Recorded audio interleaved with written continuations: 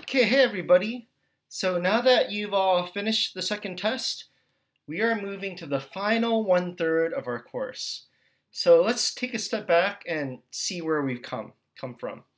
The first one third of our class was on language and rhetoric, and that's because we wanted to be able to understand and clarify our claims. Okay, and to understand how to clarify somebody's claim or our own claims, we gotta um, understand language, how it works. We got to understand rhetoric. We've got to understand conversational implicatures, uh, implicitly relative sentences, quantifiers, and so forth.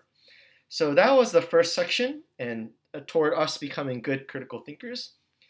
The second one third of our course was about deduction and what type of arguer you want to be become. That was the first part. So someone who uses the principle of charity, that's uh, following the arguments and evidence where it leads, not just being a dogmatic or um, or a gullible, credulous person or something like that. Um, but we want to be following the evidence, and one way we can follow the evidence is by using arguments and specifically deductive arguments. So we had a whole focus study on deduction, deductive argument forms, validity, and soundness, and so forth. So that was the second one third. In this last one third of our course, we're going to focus on another type of argument. And this is what's called induction.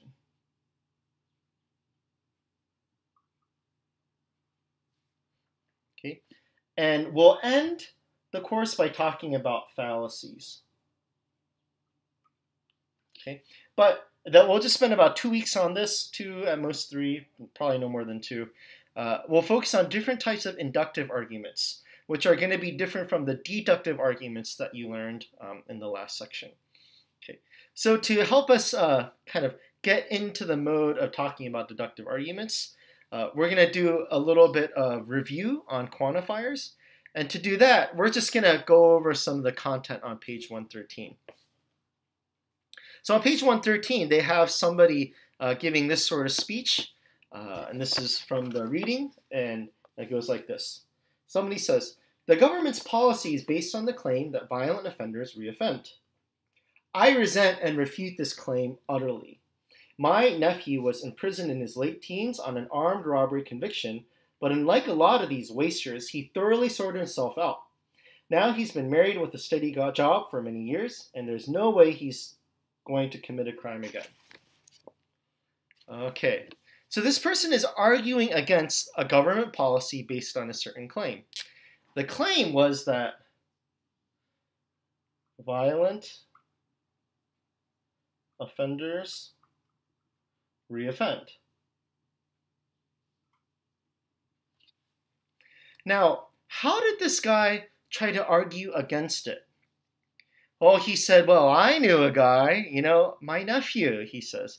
And my nephew was guilty of armed robbery, uh, but after he got out, he sorted himself out, cleaned himself out, had now has uh, is has a family life, has a steady job. Now, the person saying this takes himself to be responding to this. He's saying, uh, this is on page 113. My nephew was a violent reoffender, violent offender who did not reoffend and will not. Therefore, not all violent offenders reoffend. Okay. Now, where does this guy's reasoning go wrong? Well, it goes wrong because the governmental claim was never that all violent reoffenders, violent offenders reoffend. Nobody said all. What did they probably mean? They probably meant most or nearly all. Uh, okay, and to refute this sort of claim, you can't refute it just by pointing to one person. Okay, so uh, here's a a value again of remembering quantifiers and whether we're using a hard generalization which uses all or a soft generalization that reuses most.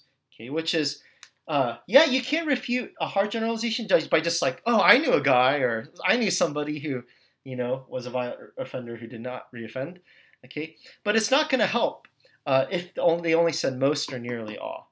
Then you have to use uh, a little, have a little more data to disprove that. Okay, so again, that's just the value of um, noting when a quantifier is not being used and having the best um, interpretation of someone else's quantifier. here's another example of this that applies to recent times. Uh, many people are getting the COVID vaccine right now, and once in a while I'll see a headline saying, um, "This person who got the vaccine still got COVID." okay, um, now here's where you should just be careful. I could imagine somebody saying, "Well, look, well that just means the vaccine's not that uh, effective." Okay, but nobody. Okay, so let's say say vaccine is effective. Now, here's the thing. Nobody was saying vaccine is 100%. Here where, here's where we would add the quantifier. Nobody was ever saying vaccine is 100% effective. Actually, they're pretty straightforward. You know, like Pfizer is supposed to be like 95 or 90% effective. Uh, Johnson Johnson's a little bit lower. Um, okay, so the, nobody, uh, they were all soft generalizations. And note that if literally millions of people are getting the vaccine every day, you would expect at least some people who got the vaccine to still get infected. Okay. The problem, the thing is, so if like just a few people are getting it out of millions, that's a much better number than otherwise. Um, so that 95% effectiveness is really good. So we, we just should expect it. We shouldn't be that surprised by these news articles. Um, so this is another value of um, watching for the quantifier and paying attention to it. And in this case, they didn't even have a quantifier, violent offenders reoffend. In this case, people actually gave quantifiers, uh, but it's still, um, people are still missing it. Okay, here's an ex another example the book uses on the value quantifiers for the bottom of page 113.